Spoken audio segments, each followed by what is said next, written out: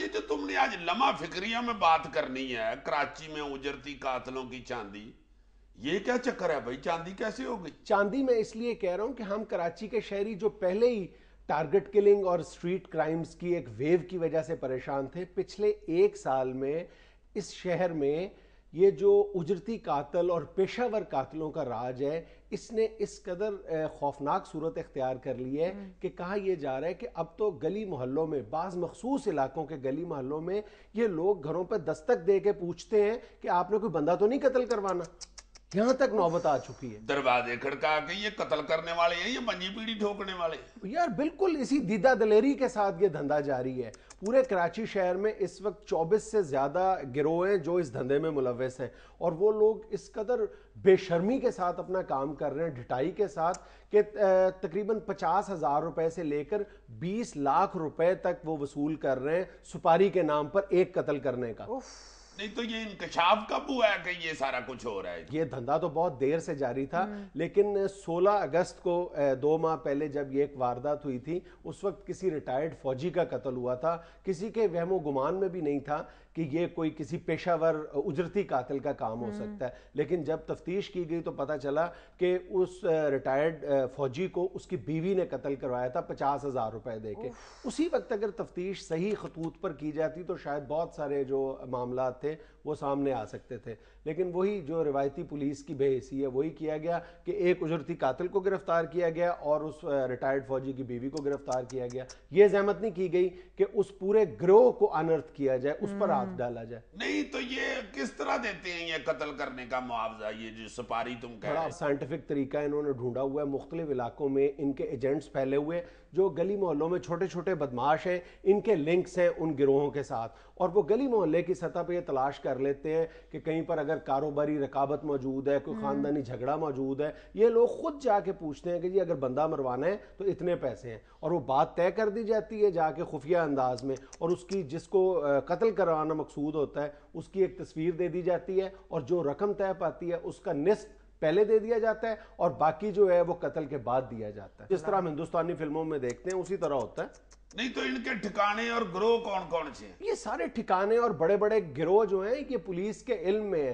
खास कराची के कुछ इलाके तो इनके लिए इस कदर सेफ़ हेवंस हैं कि वहाँ पर पुलिस को इल्म है कि यहाँ पर पेशावर उजरती कातिल मौजूद है लेकिन पुलिस कार्रवाई करने से गुरेजा रहती है। इन इलाकों में मच्छर कॉलोनी है बिलाल कॉलोनी है औरंगी टाउन है इब्राहिम हैदरी है सुराब गोट है सरजानी टाउन है बल्दिया टाउन है इतिहाद टाउन है और गुलबर्ग। ये वो सारे इलाके हैं जहाँ पर इनके जो पेशावर कातलों के गिरोह मौजूद हैं और पुलिस के इल्म में है। तो गिरोह कौन कौन से हैं जी इनके? कराची का जो सबसे बदनाम गिरोह है ना उजरती कत्ल के हवाले से वो बंगाली माफिया है वहाँ पे जिसका उन्होंने एक का रिंदा तो एक माह पहले मच्छर कॉलोनी से गिरफ़्तार किया है। अखबार में आया था। बाबुल बंगाली। हाँ, हाँ। लेकिन इसी ग्रोह का जो सरगना है ना वो अयूब बंगाली है। उस तक पुलिस नहीं अभी तक पहुँच सकी। इसके अलावा भी कई इलाकों में मखसूस किस्म के गिरोह वहाँ पे काम कर रहे हैं। बड़े बड़े वहाँ पे गैंगस्टर्स मौजूद हैं। मतलब मच्छर कॉलोनी में मियाँ उर्फ़ पाकी है, इब्राहिम हैदरी में फखरू बंगाली है। फिर सुराब गोट में जाकिर शाह का गैंग काम कर रहा है।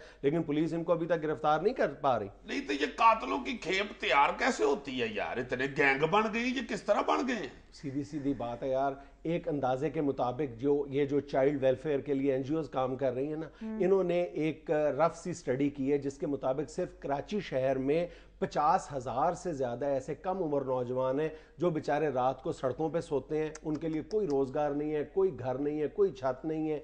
इसलिए वो बेचारे मजबूर हैं अपना पेट भरने के लिए इस तरह की छोटी मोटी वारदातें करने के लिए। और वो छोटी छोटी वारदातें करते करते बड़े बड़े केस ये जो गैंग्स हैं। ये उनको देख लेते हैं तलाश कर लेते हैं हम्म। और फिर वो अपने मजमूम मकासद के लिए इन बच्चों को नौजवानों को इस्तेमाल करते हैं। नहीं तो ये टारगेट किलिंग में इनकी चांदी कैसे हो जाती? है टारगेट किलिंग में इनके लिए टारगेट टारगेट किलिंग जब शुरू होती है तो इनके असल में हेड डेज़ शुरू होते हैं क्योंकि वहाँ पे पता ही नहीं चलता ना जो भी एक दिन में आज दस अफराद टारगेट किलिंग की नज़र हो गए मीडिया पर भी यही आता है हम्म। पुलिस को भी ये कहकर सारे जो कत्ल की वारदातें हैं उनके ऊपर पर्दा डालना आसान हो जाता है हालाँकि एक अंदाज़ा ये है कि अगर आज एक दिन में दस वारदातें हुई हैं तो कम से कम पाँच वारदातें ऐसी हैं जो टारगेट किलिंग का शाखसाना नहीं थी बल्कि ये जो उजरती कातल हैं हम्म। इन्होंने अपना काम दिखाया होता है। अब तक इस साल में 523 लोग टारगेट किलिंग का शिकार हुए हैं और पुलिस ऑफिशल्स का अपना अंदाज़ा ये है कि इनमें से निसफ से ज़्यादा लोग जो हैं वो टारगेट किलिंग का निशाना नहीं बने थे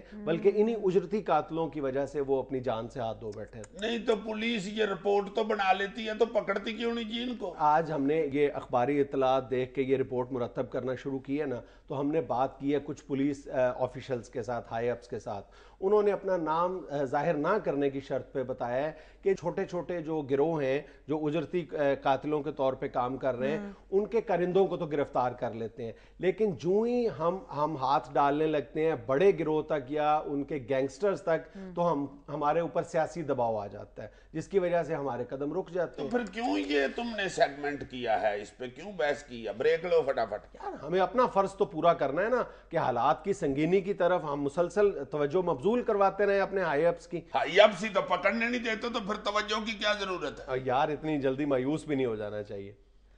नाजरीन यहाँ में लेना एक छोटा सा वक्फा हमारे साथ रहिएगा। यार ये पंजाह हज़ार में कत्ल कर देते हैं दो तीन सौ में फैंटी लगा देंगे किसी को। रेट तो यही बनता है। और यार, मैं जब भी मल्ले से स्कूटर पे निकलता हूँ, एक लड़का आवाज़ लगाता है कि, जी जी साहब, मुँह गिर जाएगा, पिछली सीट पे रख ले।